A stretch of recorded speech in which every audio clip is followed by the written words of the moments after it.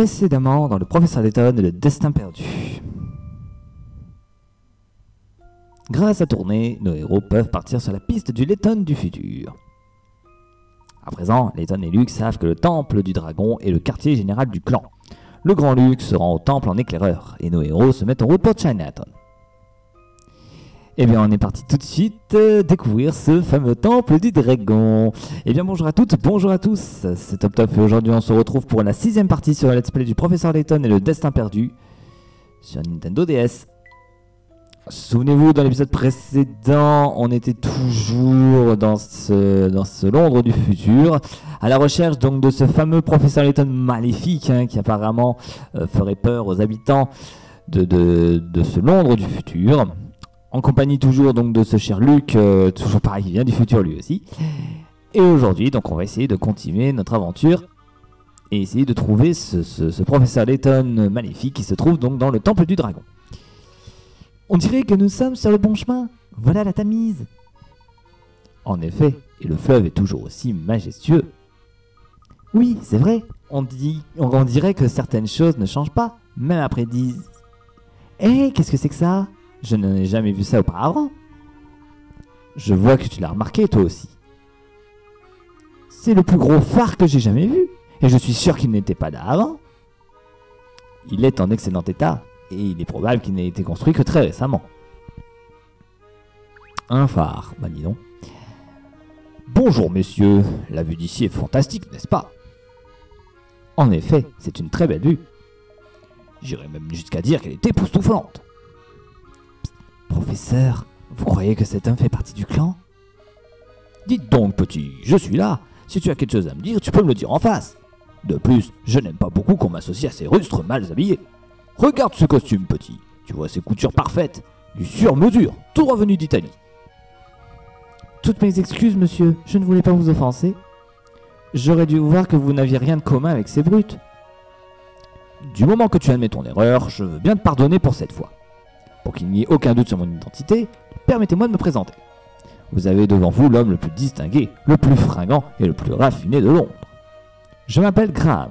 Je suis persuadé que vous n'oublierez pas ce nom. Compris. Graham, l'homme le plus distingué, le plus fringant et le plus... Euh, J'ai oublié la fin. Mais je n'oublierai pas votre nom, je vous le jure. Pas d'énigme à nous donner Non. Si vous avez besoin de conseils en matière d'élégance, n'hésitez pas à faire appel à moi. Oui, oui, oui, ben, on, verra bien. Mon cher me... Oh. Ah, tiens, il y a des petites pièces ici et là. Ah. Il y a quelque chose là. Ouais, il y a une énigme ici, ok. C'est notre jour de chance, il semblerait que nous ayons découvert une énigme cachée. Énigme 500, 152, conservant vrac première partie pour 30 picards. Une employée trop pressée a empilé ces trois types de boîtes de conserve sans tenir compte de leur contenu. Cependant, elle veut maintenant organiser les piles par produit. Il est impossible de déplacer une boîte sans déplacer en même temps toutes celles qui se trouvent au-dessus d'elle. Une pile ne peut pas compter plus de 6 boîtes. Aidez cet employé à ranger les boîtes, sachant que cette énigme doit être résolue en moins de 6 déplacements. Alors, moins de 6. Euh, alors, attendez, comment on va faire? 2, 3, 4, 5 et 6. Bah voilà C'est parfait On est bon, nickel Parfait. Beau travail, tout est en ordre maintenant. Bravo bah merci beaucoup. Et voilà, le tour est joué. Oh, bonjour. Excusez-moi, monsieur. Pouvez-vous nous dire si nous allons bien en direction de Chinatown? Oui, vous êtes dans la bonne direction. Sans doute. Sans doute Vous voulez dire que vous n'y êtes jamais allé? Bien sûr que non. Ce quartier me donne des frissons. Rien de bon ne peut m'attendre là-bas.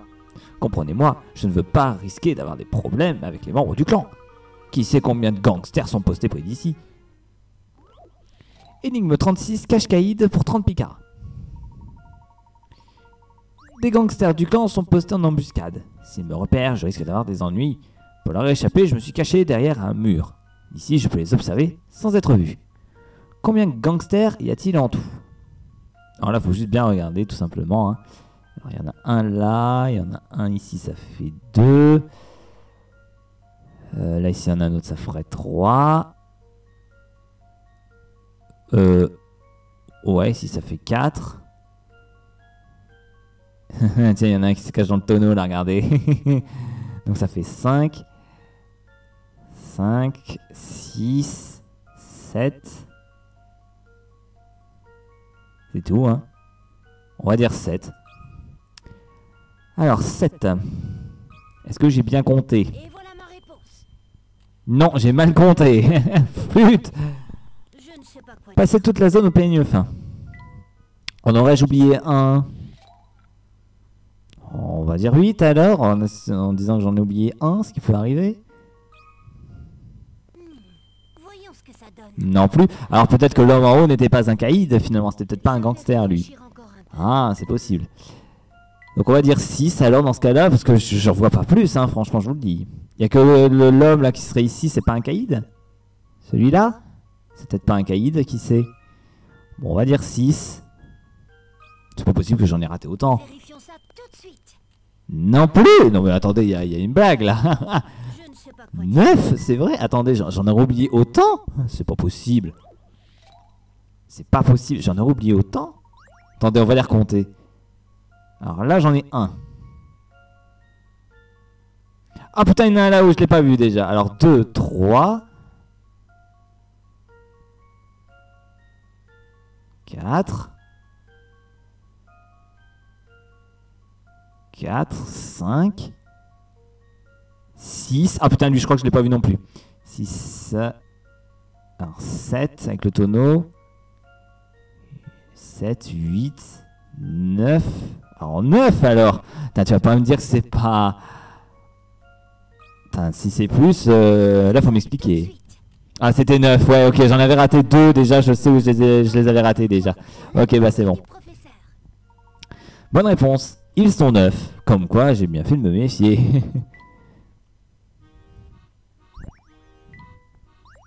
ah, encore une vignette pour l'histoire. Vous avez résolu mon énigme. Vous ne faites pas partie du clan alors. Ces gens ne sont pas réputés. Nous n'avons rien à voir avec les gangsters du clan. Je suis Luc et voici le célèbre professeur Layton. Ah Layton? Bien sûr qu'il n'a rien à simple gangster. C'est le grand chef du clan. Au secours À moi Oh, j'avais oublié qu'à cette époque, le nom de Layton donne la chair de poule aux gens. Oui, c'est malheureux, mais les gens semblent persuadés que je suis un criminel notoire. Mais oublions ça. Regarde plutôt ce qu'il y a sur le sol, Luc. Tiens, encore des traces de pas euh, mouillés. Ces empreintes appartiennent à l'homme qui vient de s'enfuir. Je me demande pourquoi son pantalon et ses chaussures étaient mouillés. Il fait un peu froid pour aller nager, vous ne trouvez pas? Tu as raison. Comment expliquer qu'il soit trempé alors? Hmm. Énigme 10, les hommes en blouse blanche. On rencontre des hommes en blouse blanche un peu partout dans cette ville. Ce qui est étrange, c'est que le bas de leurs pantalons et leurs chaussures sont mouillés. Pourquoi se baladeraient-ils en ville dans un tel état? Eh bien, c'est un mystère qu'on va essayer de résoudre. Vous savez, professeur, avec tous ces arbres menaçants, cet endroit me fait froid dans le dos. Quel est le problème, Luc? Aurais-tu peur de croiser un fantôme? Mais. Mais enfin, professeur, je. Je ne croirais jamais en une chose aussi irrationnelle. Irrationnelle, tu dis? Oui, il n'y a aucune preuve que les, les fantômes existent. Aucune preuve solide, en tout cas. Et comme tu es une personne raisonnable, tu ne crois pas à ces chimères, c'est bien ça? Euh. À vrai dire, j'y crois peut-être un tout petit peu. Oh, mais t'inquiète. Oh. Ah bah tiens, il y a une énigme ici. Je crois apercevoir une énigme cachée. Énigme 147, le jardin pavé pour 20 picaras. Un paysagiste souhaite utiliser l'un de ces cinq types de pierres pour paver le jardin d'une de ses clientes. Toutefois, un seul type de pierre lui permettra de recouvrir toutes les dalles à l'exception des endroits où se trouvent des pots de fleurs reconnaissables à leur forme d'étoile. Quel type de pierre doit-il utiliser? Il est possible de faire pivoter les pierres mais pas de les retourner. Alors, voyons voir un petit peu comment ça se présente. Déjà, on pourrait compter le nombre de cases déjà. Donc, il y en a 4, 8, 12, 16. Donc, déjà, il y a 16 cases au total. Donc, déjà, ce qui est sûr, c'est que la dalle de 5 qui est ici, elle ne correspondrait pas. C'est pas possible puisqu'on pourrait pas tout remplir. La dalle ici, c'est une dalle de 3, je suppose. Donc pareil, la dalle de 3 pourrait pas aller non plus. Parce que 3, c'est pas un multiple qui correspondra à 16. Donc ça n'irait pas non plus. Et cette dalle-là, idem. Donc il ne reste que deux dalles, celle-ci et celle-ci. La violette et la verte. Qui pourraient coller, puisque 4, euh, 16 sur 4, ça fait 4. Donc ça pourrait coller. Maintenant, comment on pourrait caler tout ça? En prenant la verte, on pourrait faire par exemple comme ça. Comme ça. Comme ça. Et puis comme ça là-haut, ça pourrait caler. Hein. Ça pourrait coller. On va dire celle-là, là, la dernière. Voyons ce que ça donne. C'est bien ça, en effet. Bonne réponse. Ah, je suis bon, je suis bon. Bonne réponse. Le paysagiste doit utiliser les pierres de type E, comme illustré, comme illustré ci-dessus. Ah, je savais que j'y arriverais. Bien joué, Luc. Euh, oups, pardon, je fais marche arrière. non, non, on fait pas marche arrière, on fait marche avant, s'il vous plaît. Merci. Ah, tiens, le revoilà, lui. Regardez-moi cette beauté, pas étonnant que les énigmes adorent ce genre de fleurs. Demandez quelle mouche m'a piqué, c'est ça Voyez vous-même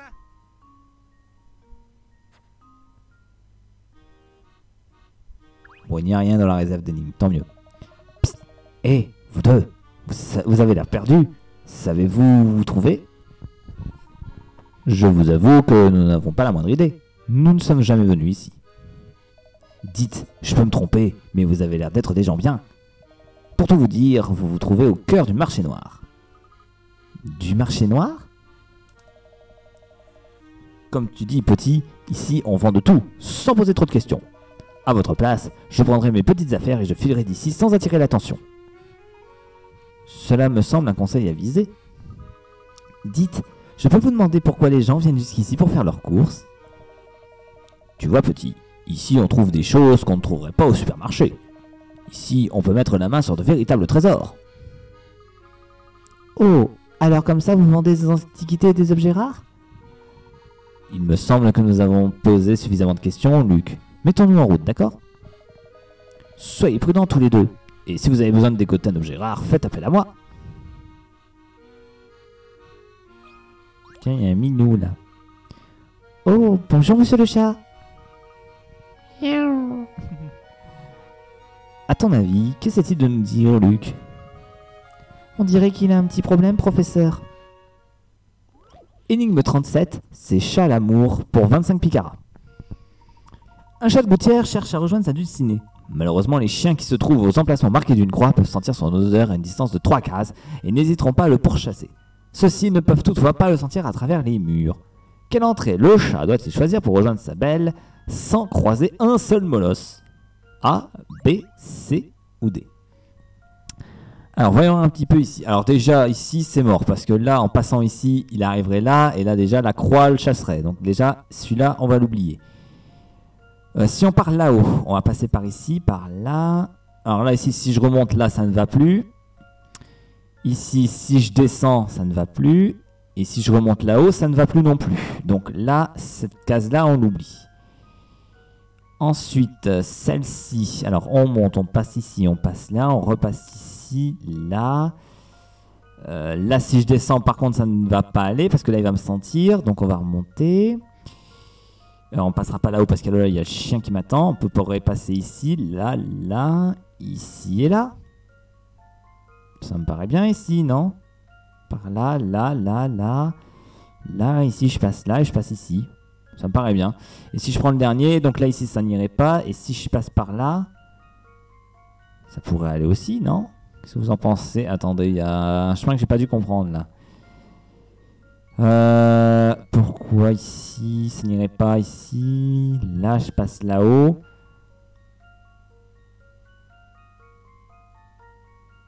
Ah bah non, parce que quand je passerai là, bah oui, je suis bête. Quand je vais passer ici, là, il sera à trois cases de la, de la croix, donc il va, il va se faire bouffer. Donc c'est là, c'est ici. Voilà, nickel, parfait.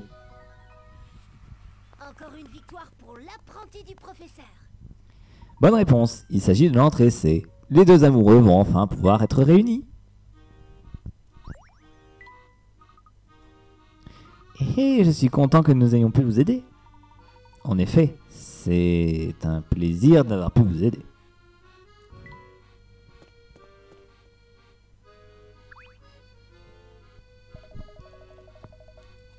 Halte Où est-ce que vous croyez aller tous les deux? Personne ne franchit cette porte. Maintenant, fichez le camp, vous aurez affaire à moi. Je vois.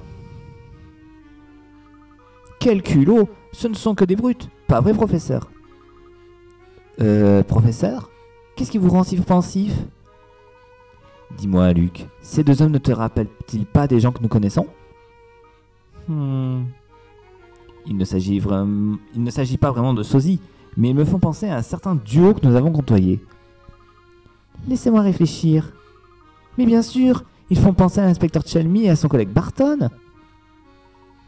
Exactement. Il existe des ressemblances frappantes entre eux, tu ne trouves pas? Voyons voir. Un grand bourru qui donne des ordres à un petit assistant. Cela me rappelle quelque chose, effectivement. Cependant, je suis pas sûr que l'inspecteur apprécie d'être comparé à un malfaiteur. En parlant de l'inspecteur, sa présence lors de la réception ne t'a-t-elle pas semblé incongrue? La réception Vous parlez de la démonstration de la machine à voyager dans le temps? Oui. À ton avis, pourquoi un inspecteur de police a-t-il été invité à un événement de ce genre? Eh bien, il a résolu certaines affaires délicates. Sa notoriété pourrait expliquer sa présence. Je le pense aussi. C'est d'ailleurs à cause de notre prétendue notoriété que nous avons été invités, toi et moi. Notre prétendue notoriété? Mais enfin, vous êtes le grand professeur Letton, l'exemple parfait du gentleman moderne. je suis désolé de le dire, Luc, mais je crains que tu ne sois le seul à penser cela de moi. Je crois que tous les invités faisaient partie des hautes sphères de Londres ou des médias. L'inspecteur Chelmy et moi étions deux exceptions notables sur la liste des invités. Où voulez-vous en venir, professeur? Je me demande simplement pourquoi ce mystérieux Dr Stangun nous a invités, l'inspecteur et moi. J'aimerais beaucoup avoir l'avis de l'inspecteur Chelmy sur la question. Je comprends, mais il faudrait revenir à notre époque pour lui demander. Et une seconde, et si on pouvait rencontrer l'inspecteur Chelmy du futur? Ah, professeur, vous voilà. Oh, te revoilà, Luc J'ai cru entendre que vous souhaitiez rencontrer l'inspecteur Chelmy. En effet, j'aimerais beaucoup avoir une conversation avec le Chelmy de notre époque. Je pense que cela peut s'arranger. Mais comment? Nous devrions continuer cette conversation à l'abri des oreilles indiscrètes. Je propose que nous allions dans le petit bois, à l'ouest d'ici. Ah, donc il faut repartir. Ok, ben on repart tout de suite alors.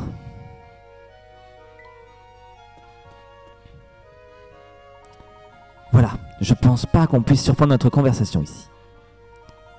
Tu disais connaître le moyen de parler à l'inspecteur Chelmy de notre époque. J'imagine que cela implique un nouveau voyage dans le temps. Et qu'est-ce que tu as en tête?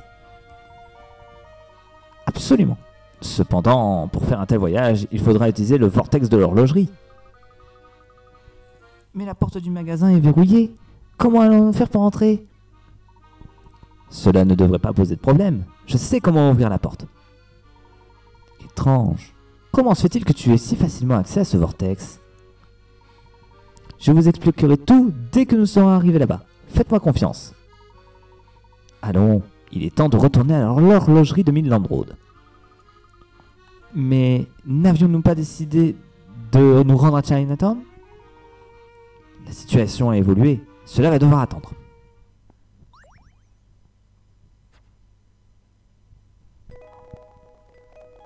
Chapitre 4 Retour vers le présent.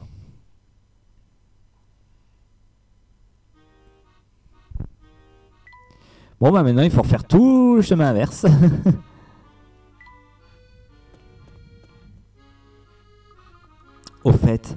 quand est-ce que le phare sur la Tamise a-t-il été construit? Il y a 5 ans, environ.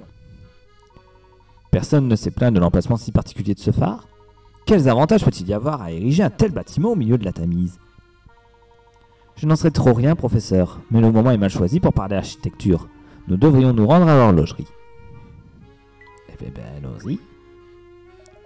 Oh, comme je suis content de vous voir. L'homme le plus élégant de Londres a besoin de votre aide. Euh, très bien. Quel est le problème? Le problème, c'est ce satané volatile là-bas. Cette horrible créature m'a agressé et a volé mes boutons de manchette. De quoi parlez-vous? Oh, ce doit être l'oiseau dont parle cet homme. Quel superbe perroquet Ne restez pas planté là. Attrapez donc ce monstre avant qu'il ne s'enfuit. Je suis désolé de vous dire ça, monsieur, mais nous sommes un peu pressés, voyez-vous. Mais enfin, grand Luc, tu sais ce que dit toujours le professeur. Un vrai gentleman aide toujours ceux qui en ont besoin. Et nous ne voudrions pas faire mentir le professeur, n'est-ce pas? Très bien. Réfléchissons un peu. Cet oiseau a l'air d'aimer les objets brillants. Pardon, monsieur, auriez-vous un objet brillant que nous pourrions vous emprunter? Mais bien sûr. Quelle sorte de gentleman sortirait sans les accessoires indispensables? Tenez, j'ai sur moi un rubis que je ne porte que lorsqu'il faut ajouter un peu d'éclat à ma tenue. Oh non Quel est le problème?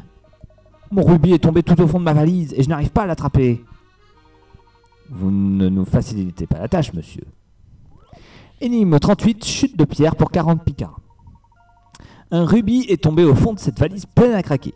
Pour le récupérer, amenez-le en haut de la valise en faisant glisser les objets. Ah, ça c'est les énigmes que j'aime aussi, ça, je vous le dis. Euh, Alors, comment on va s'y prendre?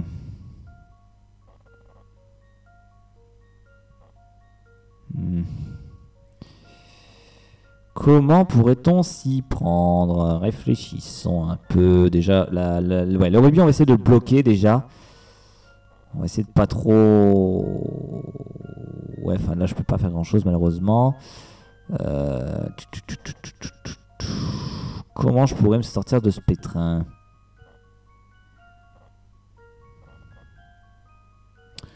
Comme ça peut-être?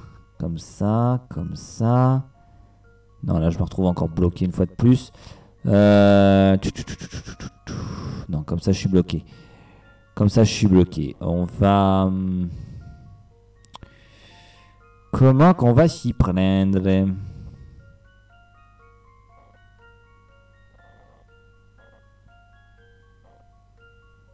Non, annule, on va, on va refaire. Euh, Comment va-t-on s'y prendre pour débloquer le, rubis? Ah, comme ça déjà, ça paraît déjà mieux là. Comme ça. Voilà, là, là. Ah mais là je risque d'être bloqué après à mon tour là. Bah ouais, je peux pas bouger. On va demander un premier indice. Tous ces objets rendent les choses difficiles. Vous ne pourrez pas faire remonter le rubis en passant par le milieu de la valise. Vous allez devoir le faire passer par la droite. Ah Alors déjà, il faut faire passer le rubis par la droite. Déjà, ça peut être un bon indice déjà. Euh, si je passe comme ça...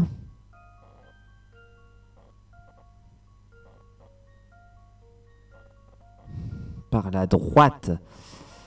Euh, par la droite.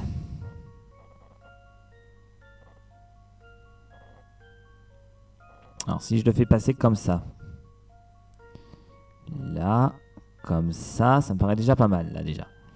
Là le début il me paraît pas trop mal. Vas-y fais-le descendre. Je passe ici, je fais descendre celui-là, je le repasse là-haut. Et ben voilà, on y est là, on est bon. Voilà, ça y est. ok, nickel, parfait.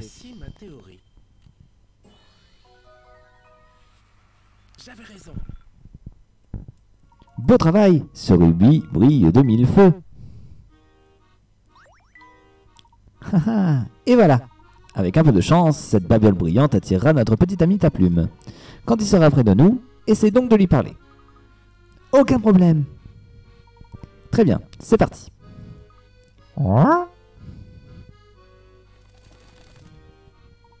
Il approche.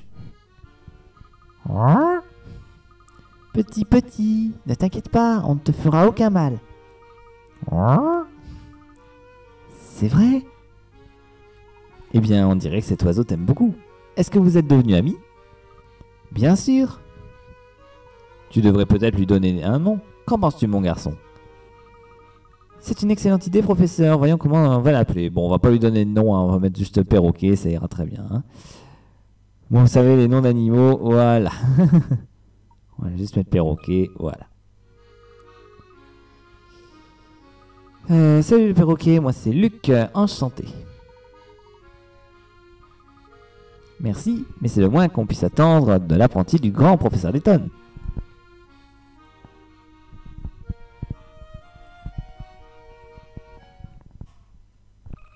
Voilà, et maintenant on a droit à l'option perroquet dans la valise. Vous avez maintenant un nouvel ami, le perroquet. Découvrez les règles avec Luc. Messieurs, je me réjouis que vous ayez réussi à attraper ce sac à plumes. Continuez comme ça, et vous deviendrez bientôt de parfaits gentlemen, tout comme moi. Nous sommes heureux d'avoir pu vous aider. Voici votre rubis et vos boutons de manchette. Merci. Grâce à eux, j'ai l'air encore plus distingué, fringant et raffiné qu'avant. Maintenant, permettez-moi de vous récompenser tous les deux. Oh, ce n'est vraiment pas la peine, monsieur.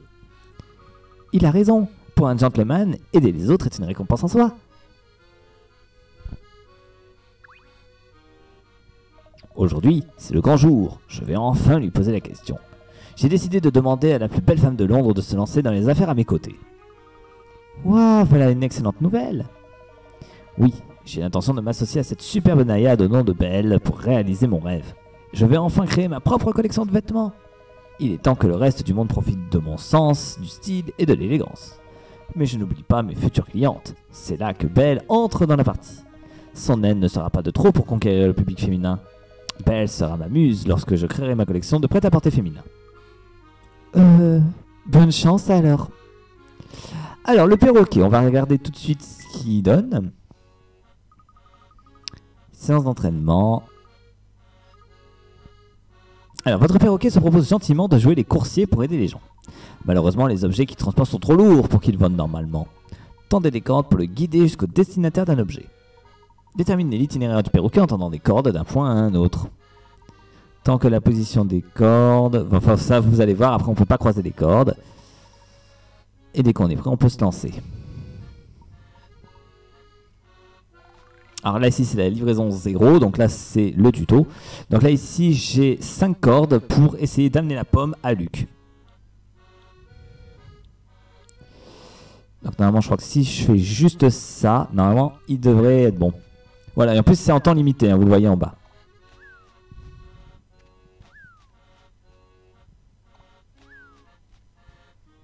Voilà, c'est bon.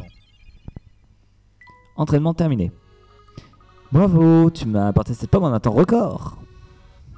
N'hésite pas à me faire signe quand tu veux t'entraîner, d'accord? Euh... Euh, on n'a pas de, nouveauté? Ah non, on n'a pas de nouveauté. Bon, ça viendra plus tard alors. Euh, dans le livre d'images, on a quoi? Parce qu'on avait toujours ça. Pour l'instant, on n'a que trois trucs. Je travaille dans un café en dehors de la ville. Un jour, la personne responsable, on peut mettre l'habitué, dû s'absenter. Il avait une chose blanche, donc non. Une personne entra. Cette pluie vraiment glaciale. Apportez-moi une boisson. On peut mettre un chocolat. Et ici, notre boisson, on peut mettre un café. Voilà. Pour l'instant, on peut mettre que ça. On n'a pas d'autres images, donc on va laisser comme ça. Euh, ok, bon, le journal, on verra ça à la fin de l'épisode. Et on continue d'aller dans direction l'horlogerie.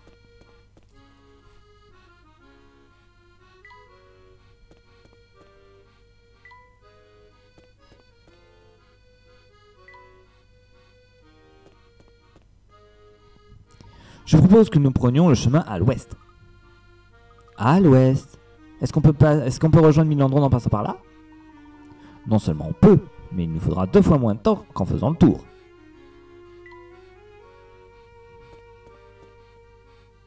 Oh, bonjour monsieur. Hmm, je te vois en train de me regarder, tu sais. Qu'est-ce que tu me veux, petit? Oh, rien du tout, monsieur. Je vous ai vu tout seul ici, et je me suis dit que je devrais venir vous saluer. tu es bien téméraire pour oser m'approcher. Tu me fais rire, petit. ça faisait si longtemps que je n'avais pas ri comme ça. Laisse-moi te remercier avec cette énigme. Énigme 39, un broglio pour 30 picards. Quatre personnes viennent de rentrer chez elles après avoir, la journée, après avoir passé la journée dans un parc. A. Peste, j'ai oublié mon manteau au parc. B. Dit, il y a le nom de A sur la carte de visite que j'ai trouvé dans ce manteau. C. Se lamente, oh non, je n'avais pas pris le manteau et je me retrouve avec celui de quelqu'un d'autre. D. Annonce, ce n'est pas mon manteau qui porte le manteau de D? Alors A, il dit qu'il a oublié son manteau au parc. B dit qu'il y a le nom de A sur la carte de visite qu'il a trouvé dans le manteau. C dit qu'il n'avait pas pris de manteau à la base et qu'il se retrouve avec le manteau de quelqu'un d'autre. Et D dit que ce n'est pas son manteau. Donc qui porte le manteau de D? Alors B il doit porter certainement le manteau de A. A dit qu'il a oublié son manteau au parc. Et en plus, donc A n'a pas de manteau. Hein. C dit qu'il n'avait pas pris de manteau et se retrouve avec le manteau de quelqu'un d'autre. Et D dit que ce n'est pas son manteau. Donc du coup, qui porte le manteau de D? Bah, Ça doit être le B du coup. Non, c'est pas le B puisqu'il y a le nom de A sur la carte de visite. Donc c'est le C alors. Et voilà ma réponse. Ouais, c'est C, c'est ça. Bien joué. Bonne réflexion. Encore une victoire pour l'apprenti du professeur. Bonne réponse. Il s'agit de C. A, B et D avaient apporté leur manteau. B porte le manteau de A. Ce qui laisse les manteaux de B et de D. Mais étant donné que D ne porte pas le sien, il doit porter celui de B. Par conséquent, vous savez que C porte le manteau de D. Puisque C n'avait pas pris de manteau. Bien joué. Que cette énigme t'apprenne une leçon. Si on ne fait pas attention à ses affaires, on peut les perdre. Tiens, prends ça. Je l'ai trouvé là-bas. Tu as dû la perdre la dernière fois que tu es passé ici. Ah, encore une vignette. Je prends. Ça, c'est joli ça. On doit avoir une belle vue du haut de cet observatoire. Effectivement, la vue est superbe, mais nous n'avons pas le temps de nous arrêter maintenant. En route pour l'horlogerie. Eh bien, allons-y. Midland Road se trouve de l'autre côté de cette porte. Ne bougez pas, je vais l'ouvrir. Et c'est verrouillé. Verrouillé? Impossible. Laisse-moi faire, petit Luc. Je vais l'ouvrir. Étrange, c'est vraiment verrouillé. Regardez tous les deux, il y a une curieuse série de chiffres sur la porte. Énigme 40, liberté, égalité pour 40 picards. Pour ouvrir la porte, il faut placer 4 panneaux numérotés sur les emplacements vides afin de créer des égalités mathématiquement correctes. Lorsque vous placez un nombre sur un emplacement au centre, il est automatiquement inséré dans les emplacements correspondants dans les, égé- dans les égalités du haut et du bas. Alors, comment on peut faire? Donc là, c'est un chiffre fois un autre chiffre égal à un chiffre plus un chiffre. Ici, donc c'est un chiffre plus un autre chiffre est égal à un chiffre fois un autre chiffre. Alors, comment on pourrait procéder? Si on fait... euh, comment qu'on pourrait faire? Hmm, 2 et 7 peut-être. Si je fais 2 et 7 ici. 2 fois 7, 14. 2 et 7, 9. Donc là, ça n'ira pas, puisque là, j'ai un 7 qui n'irait pas, là. On va mettre 6. 2 fois 6, 12. 2 et 6, 8. 8. Alors là, il faudrait que j'arrive à faire 12 ici. Mais là, si je fais 3, 4, ça ne va pas, puisque là, ça ferait 3 et 4, 7. Ce qui correspondrait pas à 12, là, déjà. Donc là, ça n'irait pas. Euh, Si je mets un chiffre encore plus petit. 5 et 2, 7. 2 fois 5, 10. 10, mais il faudrait que j'arrive à faire 7 de l'autre côté, c'est ça? Ah, Mais là, ça ferait 7 et 1, 8, ça n'irait pas non plus. À mon avis, il doit y avoir un 1 qui se cache là. À mon avis, je suis sûr qu'il y a un 1 dans le lot, là. Euh... Ouais, mais si je fais ça, ça ferait 3 fois 2, 6. Et si je fais ça, ça ne va pas. Ça ferait 3 fois 2, 6, 3 et 2, 5. 3 et 2, 5, 1 fois 5, 5, mais là où ça n'irait pas, ça ferait 3 fois 2, 6. Ah bah si, 3 fois 2, 6 et 1 plus 5, 6. Ça irait là, non? Qu'est-ce que vous en pensez? Je crois que j'ai résolu un peu au pif là. Attendez, 3 fois 2, 6 est égal à 1 plus 5 qui font 6. En dessous, 3 et 2, 5. Ah bah non, ça ne va pas parce que là 3 et 2 font 5. Si, 3 et 2 font 5 et 1 fois 5 fait 5. Si, c'est bon Voici ma théorie. Ouais, si, si, c'est bon, parfait. Ce n'était pas si difficile. Beau travail. Il y a plusieurs façons de résoudre cette énigme. Les deux membres de chaque égalité peuvent être inversés sans que cela influe sur le résultat des opérations. En outre, puisque chaque membre n'est composé que d'une addition ou d'une multiplication, les termes des additions et les facteurs des multiplications peuvent être également être inversés sans que le résultat ne change. Parfait, nickel. Excellent travail. Il est trop tôt pour se réjouir, professeur. Je n'arrive toujours pas à ouvrir la porte. Si ce n'est pas ce verrou qui bloque la porte, qu'est-ce que cela peut-il bien être Eh bien, je crois qu'il est temps de passer au plan B. Ce n'est pas très raffiné, mais je crains qu'il ne nous reste plus qu'à enfoncer la porte. En effet, il semble que nous n'ayons pas d'autre choix. Mais on peut aussi faire le tour, hein. bon. Tout le monde est prêt? Tous ensemble. À 3. 1, 2, 3.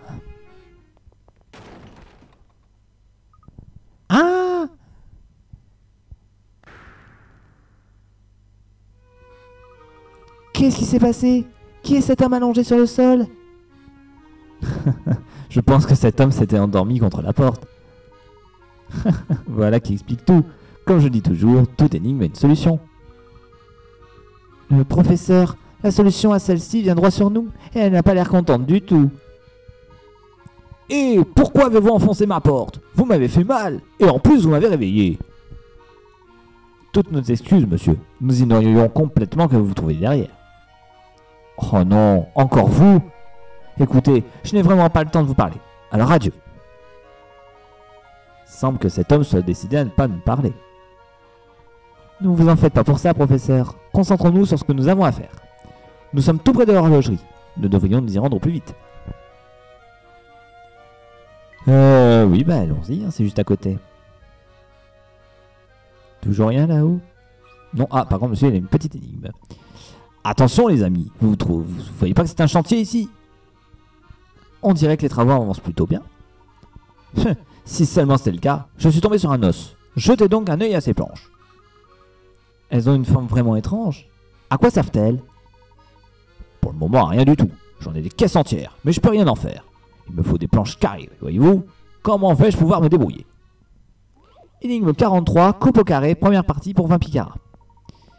La planche de bois ci-dessous possède une forme étrange qui la rend difficile à utiliser. Pour que l'on puisse s'en servir, il faut la découper en deux parties qui, une fois combinées, formeraient un carré. La fibre du bois ne permet pas de retourner les morceaux, de les faire pivoter après les avoir découpés. Tracez les votre plan de coupe. Et toucher validé.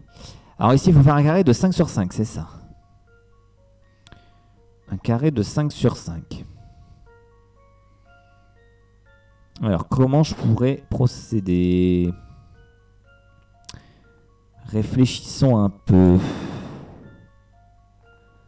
Si je fais comme ça, qu'est-ce que vous en pensez? Ce serait pas mal. Là, j'aurais déjà tout ça de fait. J'aurais ma petite case ici, deux cases là.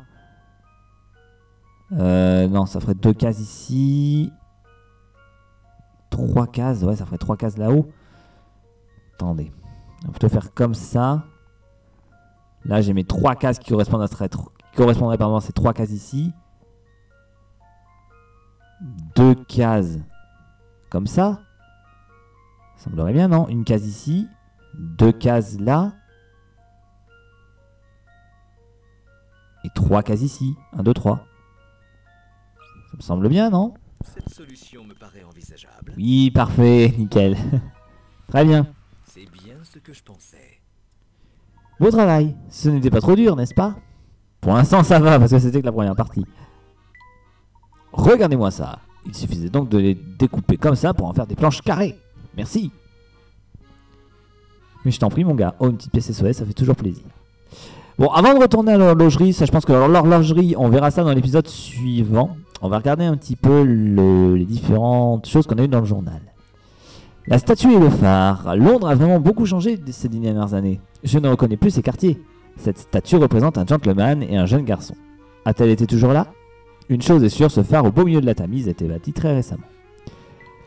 Nous avons rencontré un homme en blouse blanche sur le pont qui surplombe la Tamise. Lorsque nous lui avons demandé notre chemin, il s'est tout simplement enfui. Il a dû croire que j'étais le chef du clan.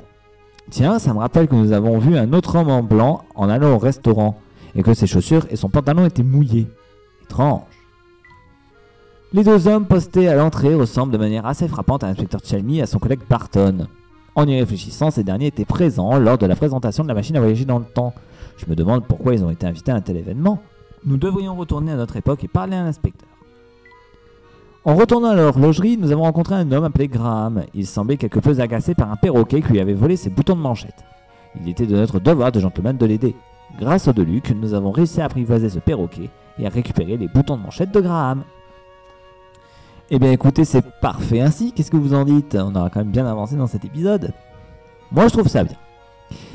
Allez, on va s'arrêter là. Donc c'était top top donc pour cette sixième partie sur l'esprit du professeur Layton et le destin perdu. J'espère que cet épisode vous aura plu. Et lors de l'épisode suivant, donc on retournera à l'horlogerie, on essaiera de revoyager dans le temps et ainsi parler à l'inspecteur Chelmy, donc de, notre étrange, on peut dire, découverte. Et en attendant, bah, moi je vous dis à la prochaine tout le monde.